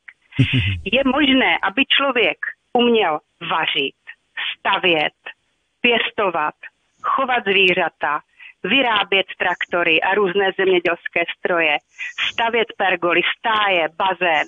Opakuj, vše, co si vymyslí, vyrobí. Je zase, to vůbec člověk? To zase mluvíš o mně, nebo jak je to? Není to mimozemšťan, já už, já, už, já už to nechápu, protože mají lidé schopnosti, ale aby byl hmm. někdo takhle univerzální, neuvěřitelný. Tak jsem hmm. se na to chtěla Míry, Míry zeptat. Děkuji. No, prosím. tak jo, já, eh, já si myslím, že to možné je. Eh, a nemusí to být mimozemšťan. Naopak, teď nedávno ten, eh, ten jeden insider mluvil o tom, že zde na planetě Zemi jsou, jsme poměrně dost tvůrčí typy, to znamená, přivedejí nám nějaké technologie, jako to bylo řeč o tom pivu a my tvůrčím způsobem vylepšíme. Já myslím, že tento člověk má jednu vlastnost, já ho neznám vůbec, jo. On je prostě tvůrčí. Mm-hmm. On má tvůrčí přístup, on je napojen někam nahoru a umí vymyslet vždycky řešení. Ono se říká o lidech, že, jsou, že je abnormálně šikovný, ale to, ten člověk nemůže být levej, jako uh, rukama, ale ta, ta, to, jak se říká, šikovný český ručičky, to je velice nepřesně vyjádřený. To se jedná o šikovné české mozečky nebo mysli. Mm-hmm. Jo? protože tam je to schopnost vymyslet řešení. Protože ty ruce to už jako uh, tu rychleji, tu pomaleji se většinou podaří, ale vymyslet. Takže já si myslím, že tento člověk vůbec nemusí být mimozemšťan, ale je především tvůrčí, což samozřejmě může být dáno i jeho předchozími inkarnacemi, že to už je starší duše a už si tady také lecos vyzkoušel na té planetě. Ale tak, jak je to prezentováno viděl, viděl bych to, že je ten člověk především tvůrčí. Mm-hmm. Ano, přesně tak, je to tak. No. Je to tak. To je všechno. Posluchačka už na telefonu tak, není, takže... Tak já budu pokračovat, jo? Mm-hmm. Zase otázka. Eh, ještě bych se teda vrátil k tomu, co bych řekl, že považuji za nejdůležitější eh, v současné teda tom v tom, já nevím, to bych pojmul, zdravotnictví a léčitelství je vypěstovat a jako to se jde, nebo vypěstovat, jak to mám říct, vyučit a naučit, ale možná, že bych použili to slovo vypěstovat, skutečně ty diagnostiky, protože to je to nejdůležitější. Ale ne diagnostik, který řekne, máte nemocná játra. I když ten člověk má nemocná játra. Ale tam se musí zjistit příčina, proč má nemocná játra. Mm-hmm. Jo? Protože když má někdo nemocný játra, tak, se, tak dá, předá se to doktorům, tak mu začnou léčit játra. Ale co když je to tím, že má přísedlíka, který měl nemocný játra a když se odvede přísedlík, tak tomu člověku se ta játra v podstatě někdy okamžitě vyléčí jak už jsem o tom říkal, že i teda v té věci v, Chalo- v Kalifornii uvažují v tomto smyslu. Jo. To znamená, to chce uh, ty kvalifikované diagnostiky, kteří by byli vždycky na prvním místě. Ale říkám kvalifikované, protože to se mi ke mně někdy dostává, když mi někdo napíše, že mu nějaký kvalifikovaný diagnostik zjistil, že má 17 přisedlíků, no tak už nejsem tak jistý s tou kvalitou. Takže to, to by bylo opravdu velice důležité. A samozřejmě to, to by byli kvalifikovaní v tom, že by viděli, co to je inkarnace, karma, stanovení životního úkolu a tyhle věci, takže uh, by byli plnohodnotně kvalifikovaní. Ale to jsou věci poznání, tam je tam to chce ten talent, otevřená ta šestá čakra, ta intuice, protože jinak se k tomu nedá dostat, že? než přes tu intuici.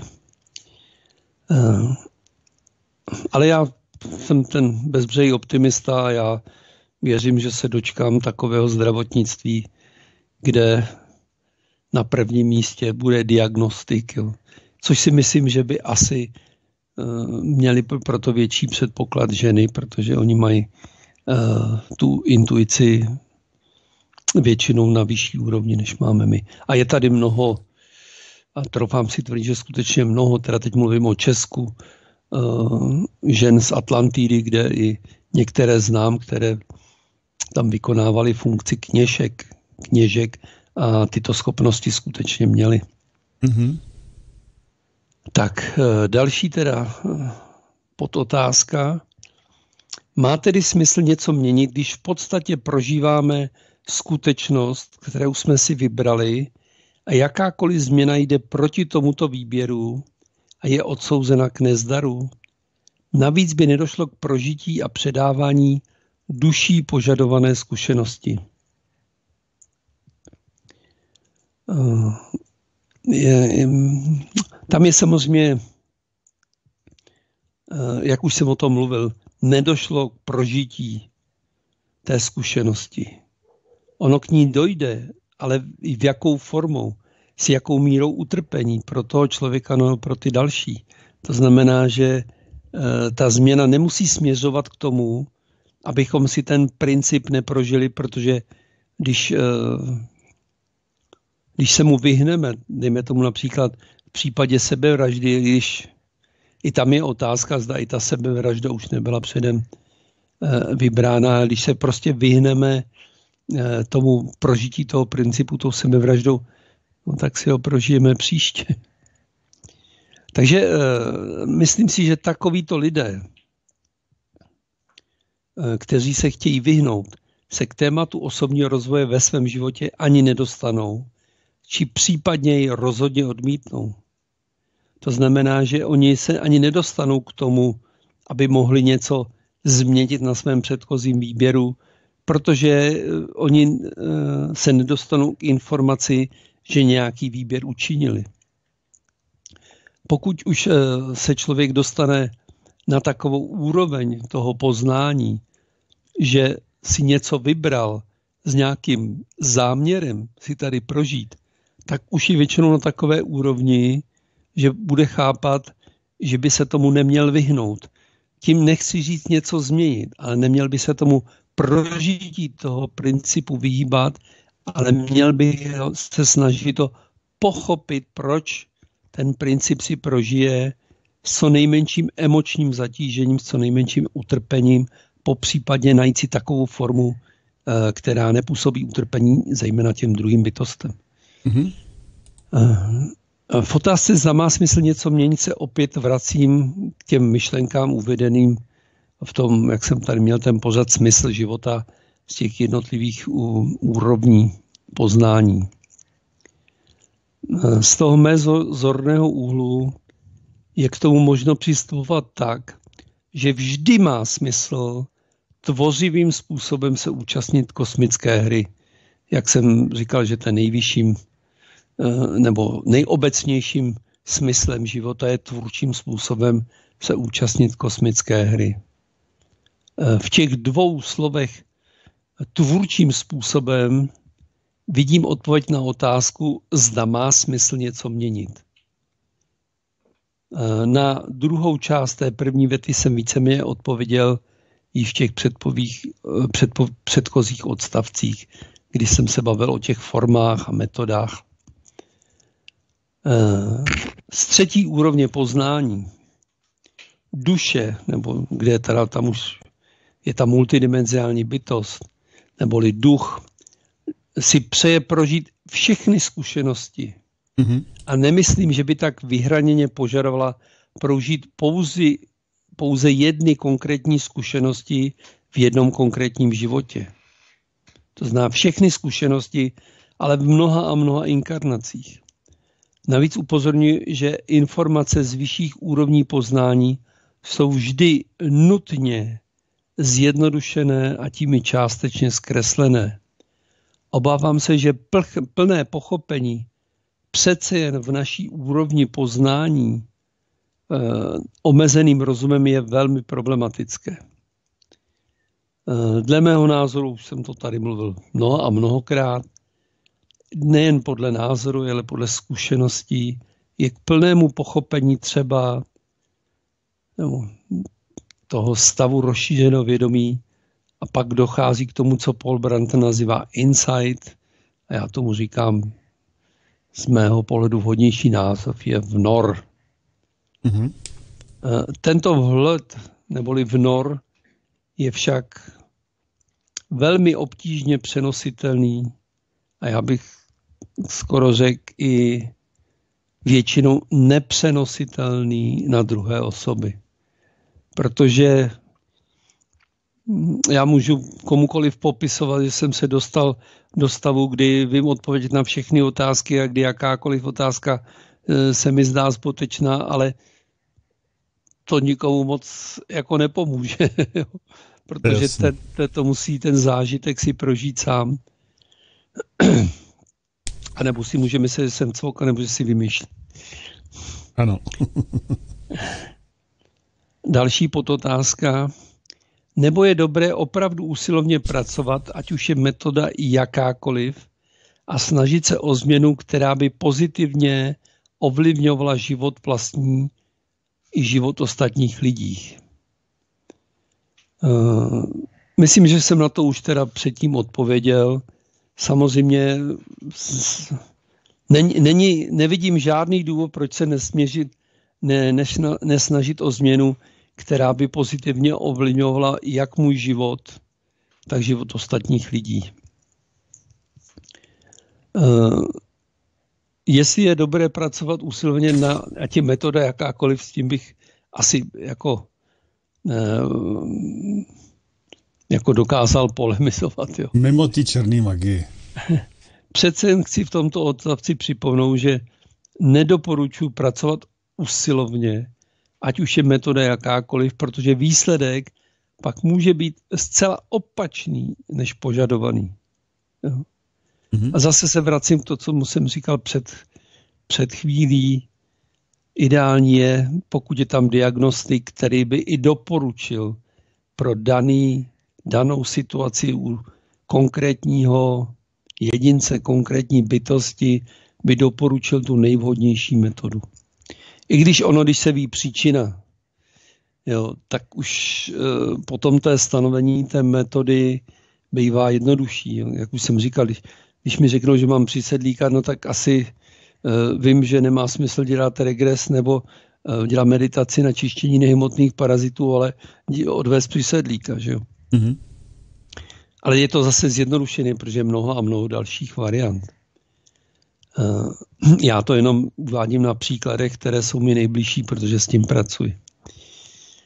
Ale jinak je optimální, jak jsem o tom mluvil, myslím minulé nebo předminulé, ten komplexní přístup. Nelze ani zapomínat, že se rovněž často jedná o hry ega na vývoj, jež někdy končí posílením ega a ne pozvednutím na vyšší úroveň frekvence vibrací. Eh, je to ta závislost na tom egu. Když si neuvědomujeme to, že jsme něco jiného než ego, že jsme duše, takže si potom je to hra toho ega. A těch případů asi Eh, budou znát posluchači více, kdy ten dotyčný prostě eh, díky práci v uvozovkách na sobě došel k závěru, jak je vysoko, jak třeba už nemůže se stýkat s nějakými lidmi, nebo jak ten partner pro není dostatečně na jeho úrovni a musí se s ním rozejít, nebo něco podobného. Mm-hmm. A přitom dal by se říct, že spíš jeho úroveň frekvence vibrací klesla, než stoupla. Ano. Snaha o pozitivní změnu eh, ve prospěch eh, vlastní i ostatních bytostí většinou či téměř vždy se nejedná pouze o lidi, protože máme kolem sebe i jiné další bytosti. Myslím v tom slova smyslu, když se pozitivně měníme, tak to má vliv i na další Eh, bytosti lidské, je na rozhodnutí každého jedince a z mého zorného úhlu nevidím jediný důvod, proč na ní nepracovat. Tak, a teď tady mám poslední podotázku. Ano. Jak řešit tento rozpor pravděpodobně pouze zdánlivý mezi požadavkem duše na zkušenost a touhou opravdu zažít harmonický a smysluplný život. Já osobně tento rozpor tam necítím, ale už jsem o tom mluvil, že právě je, já bych možná, aby to bylo přesnější, z té třetí úrovně je to požadavek ducha, té vícedimenzionální bytosti na prožití si všech zkušeností. Takže potom ten rozpor mezi požadavkem duše teda, toho, teda z té třetí úrovně požadavkem ducha a touhu prožít harmonický eh, smysluplný život asi není tak markantní, jako když si pod tím pojmem představíme tu duši, to znamená tu, tu jedno, to jedno konkrétní eh, relativně autonomní vědomí, který se inkarnuje eh, relativně po sobě v čase, teda v rámci teda našího vnímání lineárního času. Takže já to tak eh, ne, necítím, pokud se na to díváme zejména z toho pohledu, že je to požadavek ducha a ne té duše. Částečně je možné tento rozpor vnímat i jako nesoulad mezi duší a egem v případě, kdy se lidé stotožní s egem, což je zcela běžné i u lidí, kteří některé metody práce na sobě používají, ale chybí jim dostatečné poznání. Mm-hmm. Pro kvalitu odpovědi je důležitá i přesnost otázky. Na jedné straně požadavek duše na zkušenost a na druhé straně touha opravdu zažít harmonický a smysluplný život. Já bych osobně asi použil spíše šťastný život, protože většina, ale tím nechci říct, že harmonický život není, není šťastný, ale většina lidí spíš uh, touží žít šťastný život. Protože je to, bych řekl, že je to širší pojem než uh, harmonický a smysluplný život, protože smysluplný život, to znamená, když můj život bude mít smysl, a já budu přínosem pro ostatní lidi, ještě stále neznamená, že budu žít šťastný život. Mhm. Z mého osobního soukromého pohledu. Jako eh, kdyby jsme eh, jako uvedli, uvedli ten příklad že jo, Ježíše Krista, hm, když, za předpokladu, že bereme, že taková ta bytost historicky skutečně existovala, málo bude mít brát tak, jak je popisována většinou, tak asi její život smysluplný byl. Ale jestli se dal označit jako šťastný, s tím asi bude mít většina lidí problém to takhle označit. Minimálně teda jeho konce. Eh, takže na té druhé straně chybí pojmenování subjektů. Čí je ta touha po šťastném životě? Což je pro většinu lidí možno definovat jako život s co nejmenší mírou utrpení nebo minimalizaci uh, utrpení a maximalizaci něčeho, co budeme říkat štěstí. Mm-hmm. I touha po harmonii v sobě skrývá do jisté minimal, míry minimalizaci utrpení. Zřejmě se většinou shodneme, že oproti touze duše na zkušenost tu stojí touha ega po šťastném životě. Tedy rozpor mezi egem a duší, který je zvýšen tím, že běžně dochází u lidských bytostí k stotožnění s egem. Nepochybně všichni kolem sebe známe lidi, kteří touží po harmonii a klidu a přitom si neustále v životě vytvářejí situace, které je směřují k opaku. Na těchto lidech je tento rozpor vidět názorně. Poznání a v neposledě řadě poznání sebe je cestou pochopení rozporu, případně i k jeho odstranění. A tady je ještě jedna docela důležitá věc, eh, a to je ta, že dost často eh, tu bývá zase to použiju technicistně, eh, tu bývá rozdíl mezi výškou frekvence vibrací duše a výškou frekvence vibrací ega. Pod tím egem já rozumím to tělo a mysl. Mm-hmm. Protože uh, výběr vhodných těl uh, je tu značně omezen a tak prostě si musíme vybrat jako myslím, my jako duše ke splnění své role těla, která nemusí mít odpovídající frekvence vibrací, jsou zatížena genomem našich rodičů a prarodičů a ta duše se s tím potom musí vyrovnávat a musí s tím pracovat, protože bohužel jiné tělo není k dispozici. Takže to je, to je věc, eh, s kterou se musí počítat a je to samozřejmě úkol pro nás významný v tom, že když si uvědomíme, že jsme duše, takže prostě musíme my s tím tělem a tou myslí pracovat. Ono je to takové těžké pochopení, jak můžu já pracovat s myslí, když mysl je to, co mi myslí. Že jo?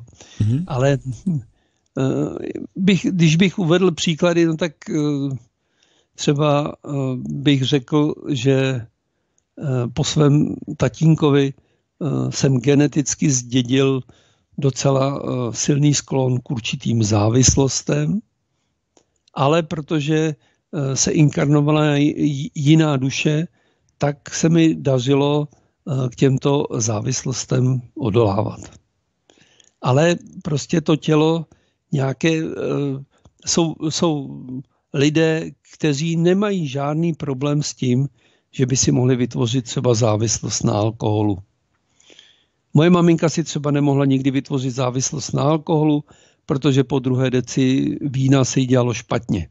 Tak, tak jo, takže ta si vybrala takový tělo, aby, aby nemohla vzniknout závislost. Jo. Ale mohla mít zase závislost. Někdo si nemůže vytvořit závislost na alkoholu, protože mu po druhý deci špatně a vytvoří si závislost na sladkém, na cukru. Takže to jsou takovéhle věci. Takže je potřeba eh, vnímat to, že eh, my jako duše si vybíráme ty naše role, to, co si chceme prožít, vybíráme si k tomu ta těla, vybíráme si k tomu ty partnery, ale je nutné uh, chápat jistá omezení pro určitou konkrétní dobu, protože jsou k dispozici pouze určitá těla, určitý partneři a nemůžeme si vybírat uh, zcela neomezeně, protože nejsme v tom vesmíru sami a ten vesmír tady není jenom kvůli nám, aby my jsme si tady mohli zahrát tu roli, která by se nám líbila. Hmm. Tak. A to je všechno. A vyšlo to naprosto přesně, protože máme necelé dvě minuty do konce. My teda opravdu zase. Ale Pavle, už by si na to mohl zvyknout. že končíme takto přesně. Nebývalo to dřív. Eh, teď to tak je už, zatím tu nemám... Ne, tak ale... někdy to téma je tak dlouhý, že se to nedá. No, nebo někdo zavolá na poslední chvíli, ano. jako Čestmír většinou, dneska ne, to je divné. Nevadí, nevadí, nebudeme ho provokovat, nebo to udělá a fakt mi zase nedá, že ho neberu. Takže eh, budeme končit, nicméně já tu pořád nemám ještě odpověď ze studia Midgard, že je připraveno, tak já nevím, co se děje snad to bude jenom, že na to zapomněl, nebo že se tam teď někde třeba připojují e, se svým hostem. Já to hold eh, vypnu, no a ono to nějak hold dopadne. Uvidíme. Nemělo by se to. Takže Míro, moc děkuju za dnešní pořád, který byl opravdu zajímavý téma. To je to, co se mi hrozně moc jsem do toho chtěl kolikrát povídat, ale hrozně jsem se držel. a ne, víceméně potvrdit to, co říkáš, jo? jenom jako říct to jiným slovem, protože někdo to se třeba Ale to bychom pochopí. to potom nestihli. No, to je možný, že bychom to nestihli, to je pravda. Takže to takhle by mělo být, takhle to dopadlo, takhle to je správně. Měj se moc hezky, loučím se s tebou a e, já taky teda končím. Přijďte zítra od 21 hodin na pořad Skumavka, budeme zase šťourat do české televize, protože teď to opravdu začíná mít docela grády ty jejich manipulace. Tak jo, Míro, ahoj. Takže dobrou já noc. se rozloučím, nashledanou, dobrou noc. Nashledanou, já se taky loučím a dál bude studio, studio Midgard. Koukám, že tady píše mi, že musí restartovat, tak já to sice přepnu, pustím ještě nějakou písničku a za chvilku, jakmile naskočí, tak pojede studio Midgard. Naschledanou, dobrou noc.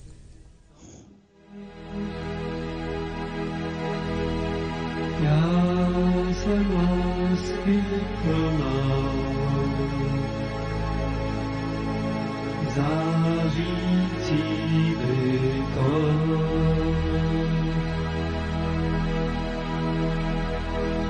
Já jsem lásky plná,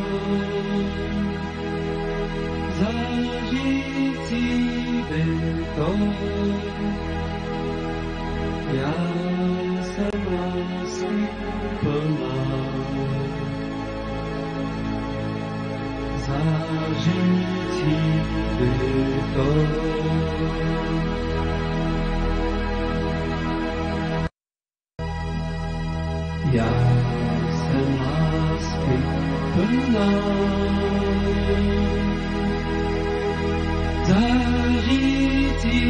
zářící bytom.